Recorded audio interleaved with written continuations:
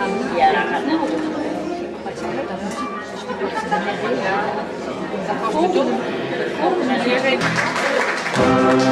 you.